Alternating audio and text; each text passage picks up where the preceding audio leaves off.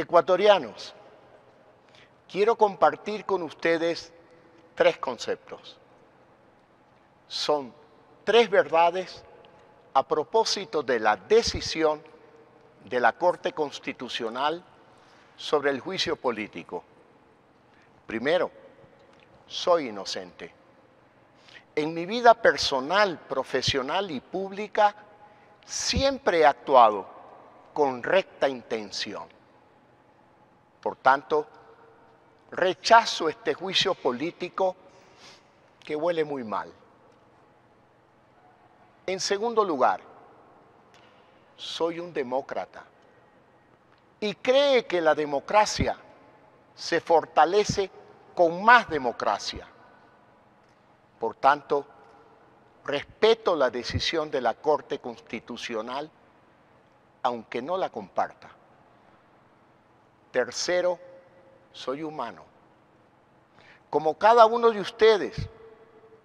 Por tanto, me indigna este ataque a mi integridad, mi reputación y también a la de nuestro hogar. Con la mano en el corazón, ecuatorianos, les ratifico que soy inocente. Voy a ser firme y claro. En mi vida personal, profesional y pública, siempre he actuado con recta intención.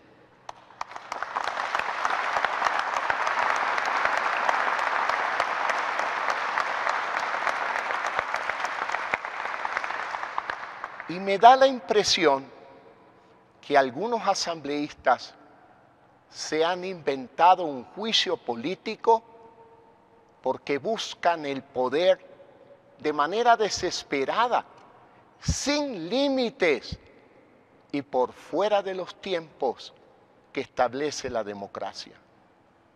Esta es la verdad. Mi defensa, ecuatorianos, es la defensa de su estabilidad y de sus derechos.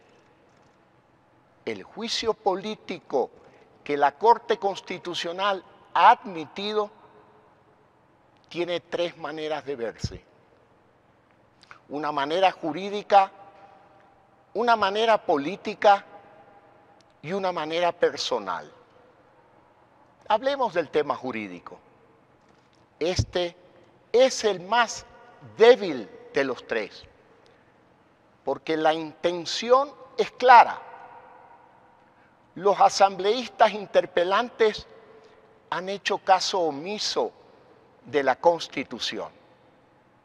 Es más, señalan en su escrito que su intención real es reprochar al presidente por su gestión.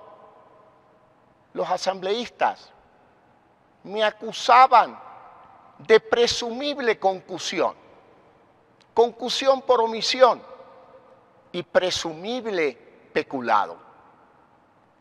La Corte Constitucional desechó la acusación de concusión. No había una sola prueba. Ahora, esta misma Corte Constitucional dio paso al juicio político por presunto peculado. Por cierto, yo lamento las presiones, incluso amenazas que la Corte Constitucional recibió de determinados sectores de la política. La Corte Constitucional dio paso al juicio político por presunto peculado. Pero, ¿qué es esto de peculado? Peculado es cuando alguien usa y abusa de fondos públicos para beneficio propio. Repito, peculado es cuando alguien usa y abusa de fondos públicos para beneficio propio. Los de ustedes ecuatorianos, los recursos de ustedes para beneficio propio. Tampoco hay prueba alguna de esto. Como dicen los abogados, los delitos contra la administración pública exigen el elemento, las pruebas del dolo. ¿Dónde están las pruebas? No hay. No hay.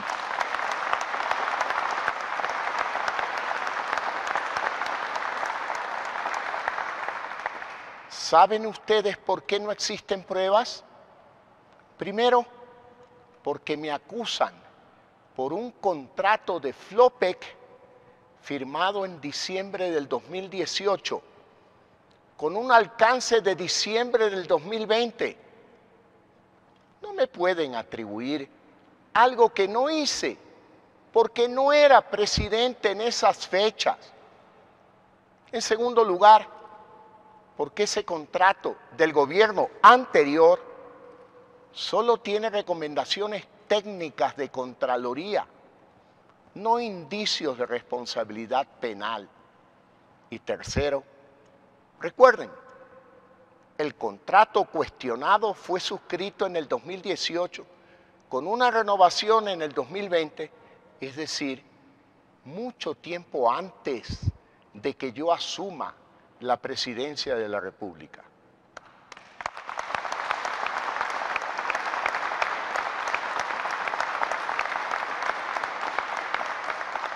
Esto es absurdo.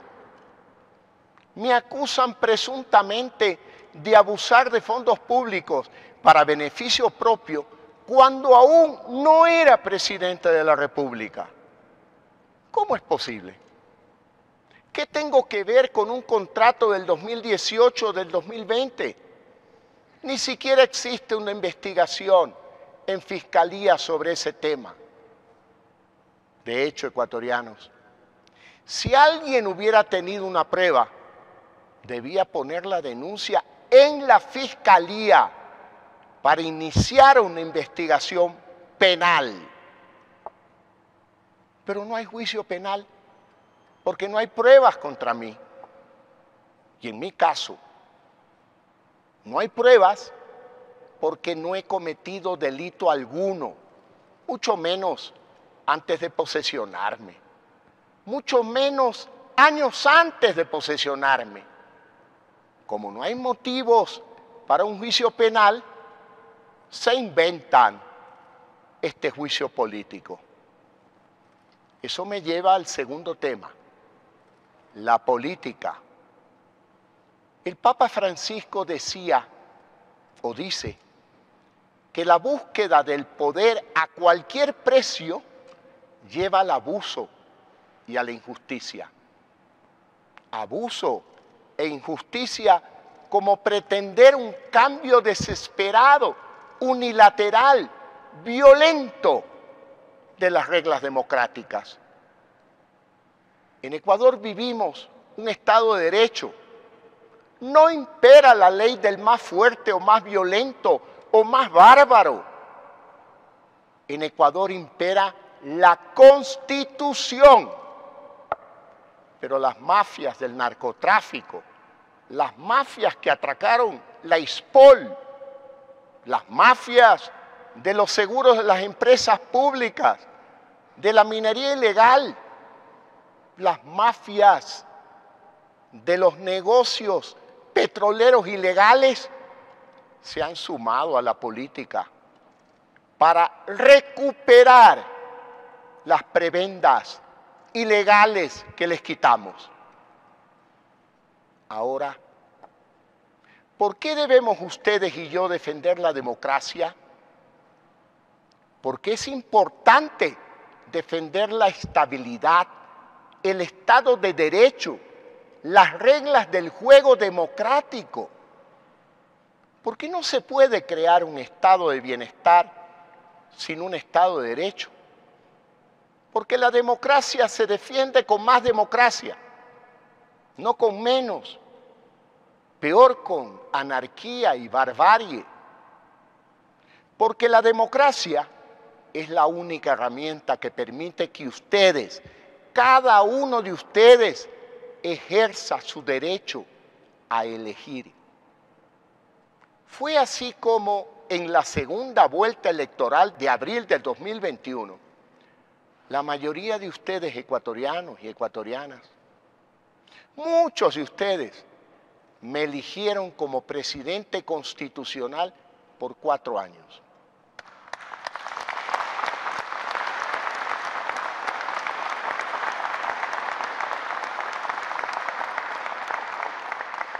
En democracia ecuatorianos, los ciclos políticos deben cumplirse. Pero es aún más crítico el escenario del juicio político. Porque este juicio político pretende evaluar mi gestión con base en pruebas obtenidas de forma fraudulenta. Y podría hablarles de vulneraciones al debido proceso, incumplimientos sistemáticos, uso de artículos equivocados, obtención de pruebas ilícitas o pretender hacerme responsable de una gestión pública cuando no era presidente. Podría hablarles de un juicio creado con memes falsos, pero sé que la política no es de su interés ecuatoriano.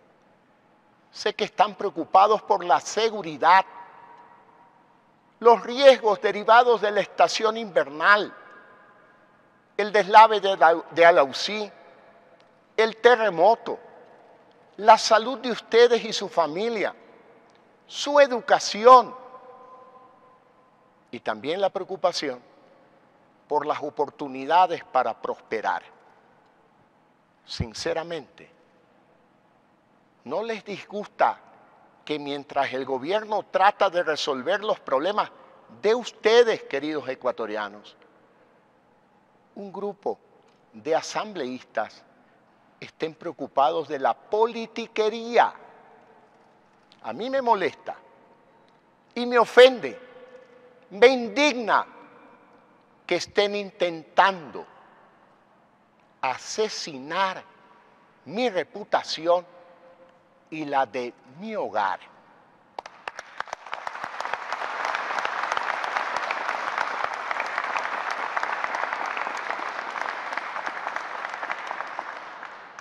Ya les expliqué que el juicio político jurídicamente no tiene pies ni cabeza, porque las mentiras inventadas no se pueden sostener. Ya les expliqué que el juicio político desde la política es solo el intento desesperado, atemporal y violento de robarles su estabilidad permítanme finalmente hablarles del juicio personal que me siguen. Ecuatorianos, debo, como lo haría cualquiera de ustedes, debo defender mi nombre y el nombre de mis hijos, el de mis nietos, de mi esposa y de todos quienes componen nuestro hogar. Debo defender el buen nombre de nuestro hogar. Como persona, estoy viviendo un ataque sistemático y mafioso. Pretenden enlodar mi nombre y el de mi hogar. Eso se llama intento de asesinato de la reputación el asesinato de la reputación es un proceso deliberado y sostenido para destruir la credibilidad y reputación de una persona. ¿Cómo se destruye la reputación? Con la creación de historias falsas, fake news, fábulas, con mentiras, con memes, con chismes y con el apoyo de algunos dedicados a difundir mentiras e inventar delitos. ¿No les suena parecido a los argumentos del juicio político? Ahora, ¿por qué intentar destruir la reputación de un presidente? Para silenciar su voz y lograr su rechazo por la sociedad y en ese momento tomar por asalto el poder, debilitar, destruir la democracia y quitarles la estabilidad a ustedes, queridos ciudadanos. Su estabilidad, su democracia, su decisión. Eso es lo que está en juego en este instante. Mis padres me enseñaron a estar orgulloso de mi nombre y lo estoy. Porque yo sí estoy orgulloso de mi Padre.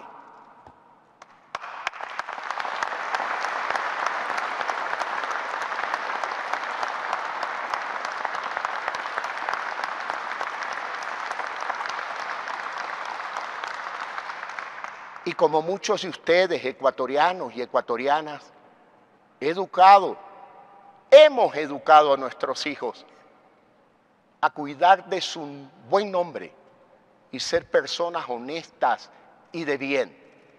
Porque eso es cuidar el futuro. El buen nombre es la joya más importante de un hogar. Y mi nombre es Guillermo Lazo Mendoza. Soy presidente constitucional del Ecuador, elegido por votación popular para cuatro años de gobierno.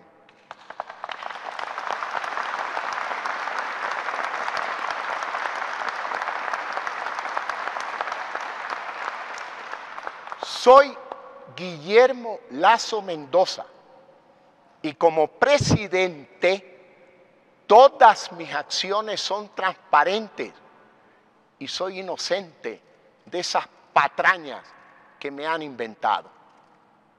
Y reafirmo, en mi vida personal, profesional y pública, siempre he actuado con recta intención. Y como presidente, soy un demócrata. Por eso respeto la decisión de la Corte Constitucional, a pesar de no compartirla.